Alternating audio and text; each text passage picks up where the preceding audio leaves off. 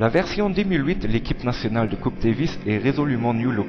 Trois nouveaux joueurs dont Philippe Grandjean, Romain Margoulis et Christian Diobach ont été sélectionnés pour la première fois en Coupe Davis. Pour tous, c'est un honneur de jouer dans l'équipe nationale qui s'est retrouvée face à une forte équipe danoise tout au long du week-end du 11 au 13 avril au Centre national de tennis à Ejalzet. Le jeune Roman Margoulis a vu le tirage au sort lui offrir le privilège d'ouvrir les débats de la 93e rencontre luxembourgeoise de Coupe Davis.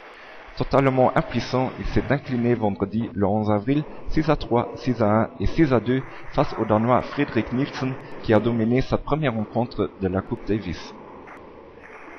Un destin malheureux qu'aussi Philippe Grandjean a dû partager lors du second match contre le Danois Martin Pedersen, qui a finalement mérité sa victoire grâce à une excellente offensive et une précision innommable.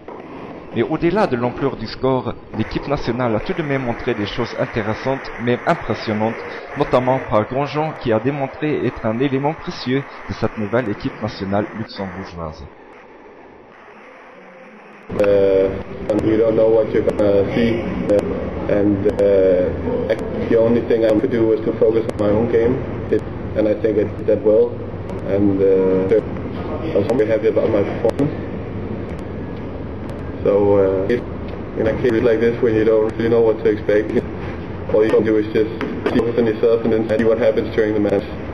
And I felt that I started really good, and I think, and I, I think I, I broke him in the first or second game of, of a set. So I, put, I felt I had him under pressure all the time, and I was very happy about that.